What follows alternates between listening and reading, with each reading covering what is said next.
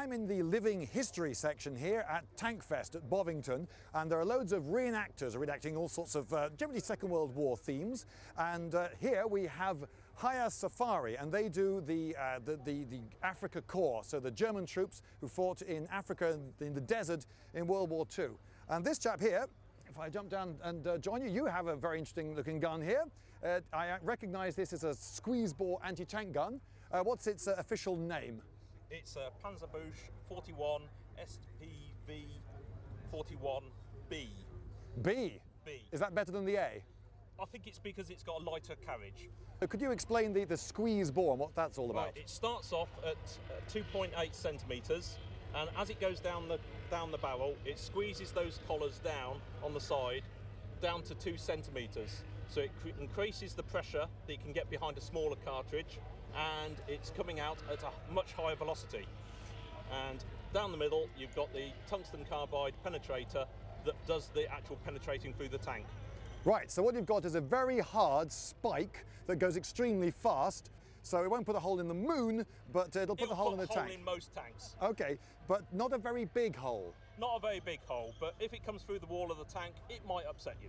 Yes, it could, it could ruin your whole afternoon. How would you know how far away the enemy is? We'd use a rangefinder. A rangefinder, you happen to have one? I do, just over there. How tremendously convenient. This is an EM34 rangefinder that uses two optics on either either side of the uh, the pole, and you adjust the the uh, prisms to down, so you get the uh, the, the image, the two images. Yep. When they when they cross in the middle mm-hmm. and they're in, in focus, you then you read off the range off the marker there on the right hand side, So, and you'll tell the tell the gunner that's the range. so just as I can tell roughly how far away something is because I've got two eyes that are Yeah. have a distance between them and my, my brain works out the triangulation, this is a way of getting your eyes much further apart so you have a much wider Yeah. base on your on that 80, cent- triangle. 80 centimeter. Right. So it's actually you doing the same sort of job as, as a pair of eyes on, on a predator looking for prey. but a little bit more accurately Yeah. with German technology. With, but there were uh, the rangefind, other rangefinders were available. Right, so this, the, this was the, the commonest weapon that uh, would be used by German infantrymen in World War II. Yes. Uh, but the one that you tend to see in films a lot is this one, which is Yes. often misnamed, I believe, the Schmeisser, Yes. the MP40 or 38. Uh, yes, that's an MP40, that one, um, as you rightly say, because uh, I think some of the magazines had the word Schmeisser stamped on them. that- That's how the, the nickname came about. Of course, it's, uh, it's a much more Hollywood-esque type weapon, firing a lot of bullets rapidly, um, although not as many uh, without reloading as you might see in the film.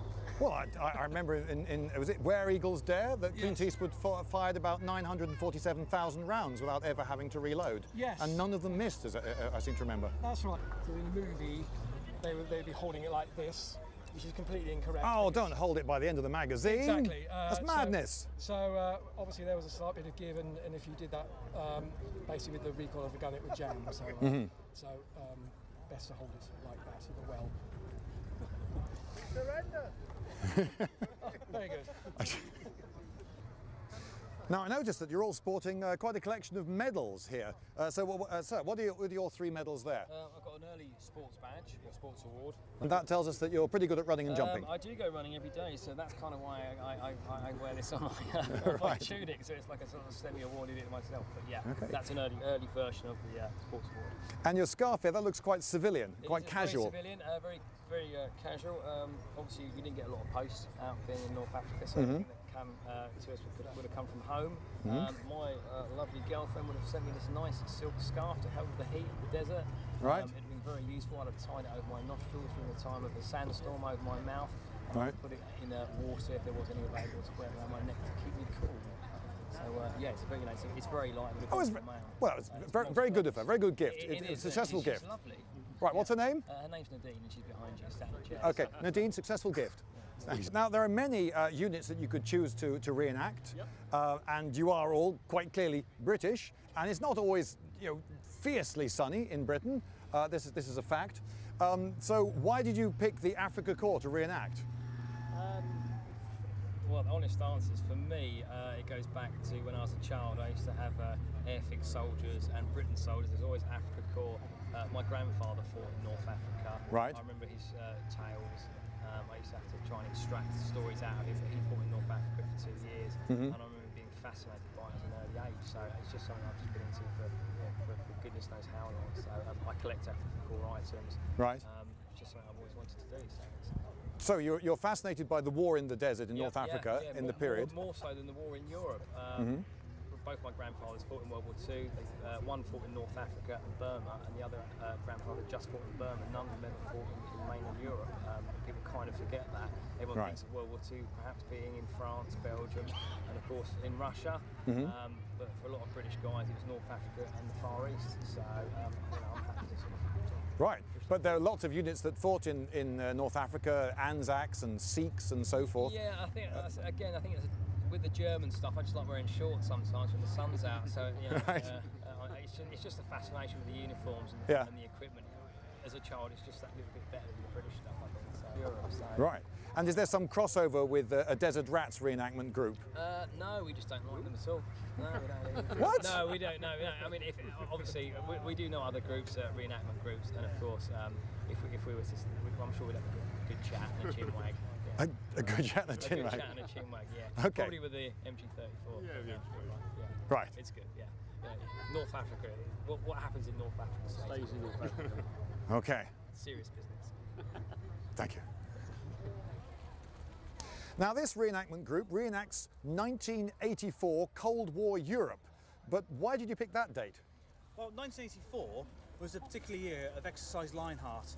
Now, Lionheart was the biggest operation the British Army and NATO had put on since the end of the Second World War. Right, now pay attention, this is Operation Lionheart. And now we are starting here, and we are to imagine that the Soviet bloc, uh, the Soviet bloc starting over here, has invaded all these yellow areas, and it's our job to push them back again. The year is 1984, and this is a map showing the biggest operation of Allied forces, NATO as it was then, and still is, um, since Normandy. And as the paper produced at the time says of Operation Lionheart, we're off they mobilized pretty much as many people as they could territorials, people who had uh, recently left the army but were still available for call up, uh, all the various regular armies. And it was an international NATO effort. They wanted to prove to the people over there that uh, NATO was still quite capable of resisting an attack. So the operation imagined that this yellow area had been taken over by an invasion force of Soviets, and uh, this corridor you can see was where they pushed them back, and you can see lines here representing various stages of the operation. And um, well, one imagines that this was at least reasonably successful in that in uh, 1985, for which followed 1984 quite closely, uh, the Soviets didn't try anything. So the idea was to convince them that uh, the NATO still had it in it.